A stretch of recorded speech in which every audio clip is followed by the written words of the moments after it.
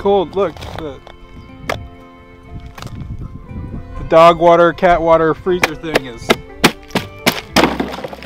frozen.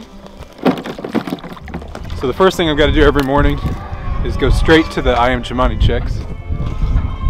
Because they're the one coop that doesn't have a heated water, so I've got to get them some warm water. Dang, silky egg already cracked.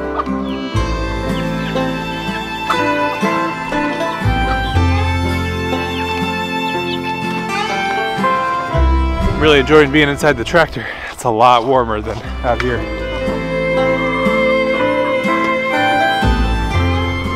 And these are our black copper Marans in here. This is actually a splash Maran. The splash and the blue we actually hatched out from some hatching eggs a year ago from some eggs we got in Texas.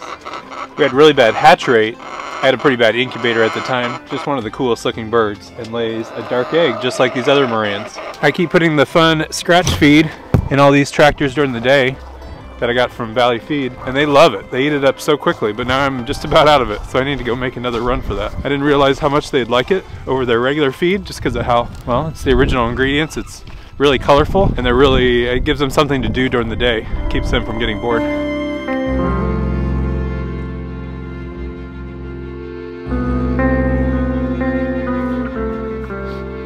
Bought this heated water bowl a while ago. It actually took about a month to get here because it came from China. I really like it, but water is pretty cold out here today, so I'm gonna go fill this up with some warm water. We actually get a pretty hard time from a lot of rabbit people. Uh, we do get a lot of emails about keeping them in these metal cages, but she's actually moved all of her straw everywhere throughout the cage. So there's nowhere where she's actually touching the metal, except for right in the back where she poops. And that goes right into the poop tray down below, and I can easily take it out to the compost pile. But they seem to be doing really well. It's cold in here for sure, but heated water, we've got a heater right up above them, but we are excited for spring to get them back outside in their rabbit tractor.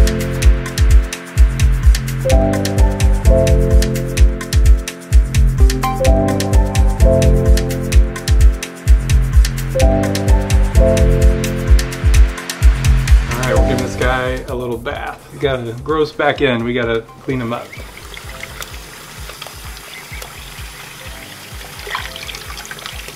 You guys do take baths in pools and different things when they get older, it'd be interesting to see what she thinks of some water here.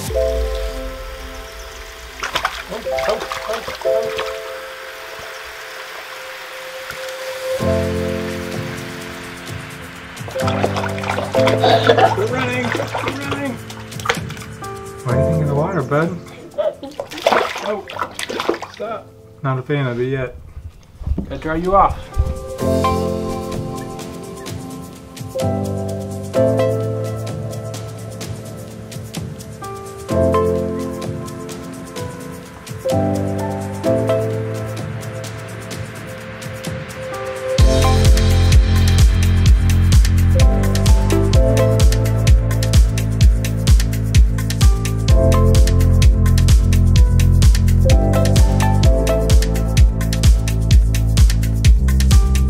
One of the things we like to do is to get our animals together. We want them to be comfortable with each other. We want them to grow up together and be familiar with each other. So we've got a special treat for you today. We're gonna see what they all think of our emu. All right, you gonna hold the camera? You gonna hold the camera? What are we doing here, Eli? Uh, getting the bunny rabbit. That's right. Which one are we getting? Uh, Pickles. Pickles, your boy rabbit. And one of the things we haven't done with this guy in a while is combed his hair out. He's a double mane lion head, so he's got a lot of extra hair here that we need to comb out. Like me! I know how to say a lot of hair, doesn't he, buddy? Going to take pickles inside. This is one of our two lion head rabbits. This is our buck. His name is Pickles. In the summer months, in the warm months, we keep them out in a rabbit tractor. We have them separated in two sides of the rabbit tractor. In the winter, we have them in a top and bottom cage out in the shed. We just had them for about six to eight months and we have not bred them. They were only three, four months old when we got them. And so this spring, we hope to breed them together and have some lion head babies. Is this your rabbit? Yes. What's her name? Peanut. That's right. What do we get next, bud? Baby chicks. All right, let's get the Ayam. Can you get one, buddy? I think Gotta be quick. Oh, Eli, you let them all run by you. You used to be an awesome chicken wrangler. What happened? They're right here. Come on, get one. Eli! All right, now he's serious. Now he's serious. Now he's not messing around. You finally get one? Yeah. Let's go inside with him. All right. But this is going to be a rooster. So How can you tell? if you flip them upside down, have their feathers come up, and if it's a V, really spiky feathers, means it's a male. If it's more rounded, it's a female. So what else on him? This comb, different than from the females. You could tell in the Yeah, that's not the same size comb for every chicken breed, but if you compare the males to the females, you'll definitely see a difference from this one to the girls, where the girls have almost nothing. You want to get the cat, Uriah? You want to get M&M? Yes, I am. All right, so we want to add a cat to the mix, and our boys are in the chicken coop, and I think might be a little too wild for all these birds. So these cats, these two girl cats that we have, M&M and Callie, they stay here in our mudroom most of the winter. They're very well fed, so we're going to try to bring M&M in here. Hey, pick her up. Can you pick her up? Too big. All Yeah. right, come on, girl. All right, open the door. Too fat. Yeah. She's a little chubby. This is with M&M. This is our one of our two female cats. Currently lives in our mudroom for the winter, but she's an outdoor cat. Came from another farm. We've had her for a couple years, and she's given us one batch of kittens before she was I feel like fixed. I have fur all over my face. You're just a mom to all the animals right now. Yes. All right, and then tell them about the emu. Okay, this is our baby emu. She is 11 days old and she has been living in the house. So she has not seen any other animal at all. So we thought we would bring some in and introduce them to her since she is going to be eventually living outside. She's going to be a big bird. So you want to tell them what name everybody picked? Okay, we did a poll and everybody loved bamboo. So we're going to name her Bamboo. With about 50% of the vote, you guys picked Bamboo over Mushu and Zazu. We had some really good write-in names like Lulu, because you could do Lu for a boy or Lulu for a girl. That would have been really fun. But we have two other emu eggs in the incubator right now that are just about a week along the 55-day process. So we will definitely have one or two more emus to name, hopefully. You're taking an Cemani chick over here? Yeah. See what everybody thinks.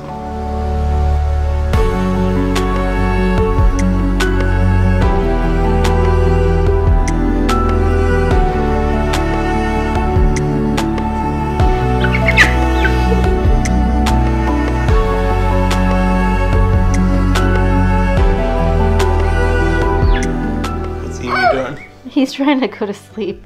He likes to snuggle. He's trying to find a good, comfortable spot. Mm-hmm. Smelling each other. Oh, I don't like face to face though.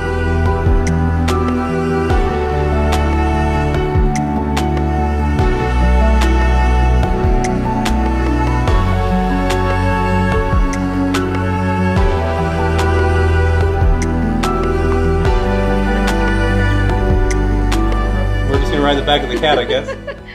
Nice and warm up there. Think we could add a peacock to this mix? Oh no.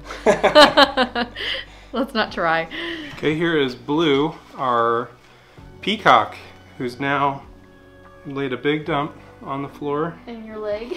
Oh, it stinks. yeah, it does. Oh man. Oh, let me clean that up. And you see our emu that's about 11 days old, right next to our five month old peacock. Someday the emu will be towering over everybody, but for right now, he's the smallest animal in the room.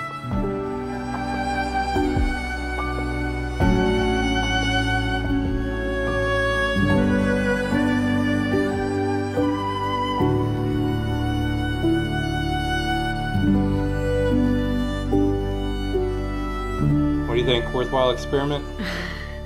A little stressful, but yeah. We only had bamboo trying to bite on Everybody. on everybody's feet. Eyes. Peacock pooping everywhere. Oh. Probably wasn't a good idea. but that was a fun little experiment. So hopefully we'll get to keep spending time with the other animals, bringing them around bamboo, so she can get comfortable with them. So we need to go give Anna a call. She was the winner of our 100,000 subscriber giveaway. And that was part of the prize was to get to be in one of our videos. So let's go give her a call. Hi. Hello. How are you doing? Good. And you're Anna, right? Yes, I am. And you're in Georgia? I am, yes. So what's your interest in like the homesteading or chicken type stuff? What's your interest in that? Yeah, um, I definitely, growing up, I had chickens, and my mom always had like a huge garden and everything, and that's something that I really see for myself, especially in the next five years or so. Um, to get a place of my own and to have uh, chickens. I'd love some goats. I'd love to. I had horses growing up, so I'd love to kind of get back to that, get back to the land, get back to really just knowing where everything comes from and providing for myself. So yeah. That's awesome. Yeah. How did you find our channel? Um, I think it was the Peacocks video was the first thing Yeah. that popped up on the recommended feed. I think Yeah. that's how a lot of people find you guys. But Sure. yeah, so I got into that and then just started following from there. That's awesome. Well, we see you wearing the shirt right now. That's that's awesome. How you liking it? Is it fit all right? I love it. it's great. Good deal. Uh, so that's one of the things that Anna got from the giveaway was the shirt. Also, you were the winner of the Brinsea incubator. I got that right here. That's awesome. And I love it. And that's going to be super helpful for when I do have my chickens and start Yep. doing that. So this is, uh, yeah, it's amazing. That's awesome. want to say that I definitely appreciate you guys and Yeah. that you uh, you're great about showing all sides of having animals, having a farm, having you know it's the ups and the downs. It's not all egg hatches. Sometimes you lose animals and um, that all of that that goes into it. And I really like just kind of the honesty. You told it. me you had a soap business. yes.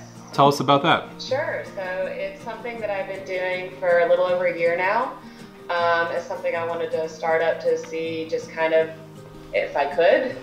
and um, my first batch of soap was definitely not the best, but it's just something that's grown, and I really like knowing uh, what I'm putting into it. The ingredients, everything is all organic. I'm using essential oils. Just me making small batches out of my kitchen and um, I'll go out and do different festivals and everything. And Do you have any? Do you have any samples with you? To sh- I do, Do. Yes, I've got. Um, actually, just did this one is like a rose soap for like Valentine's. It's got little roses Oh, on top there and everything. Um, I've got this one's one of my favorites. It's like a pure honey soap. And um, so it's really good for skin and all. And then I do like to have a little fun with them. This is a cupcake. That's So cute. I show that, but have you ever had anybody accidentally eat the cupcake soap? I've had to keep some kids away from. Yeah, yeah. All right. So where do people find your soap at? I'm on Etsy. It's uh, Anna's Organic Soap. Okay. Um, and you can find me on Etsy. You can find me on Facebook, also on Instagram. Um, so all the social media following. And I'll be sure to link that down in the description in case anybody wants to check that out. Well, thank you so much for hanging out and talking with us, and congratulations on winning the giveaway. You got a lot of jealous people that want that incubator, so you've got to make some good use of it. Yes, definitely will. Let us know what you hatch out on your first I hatching. will, for sure.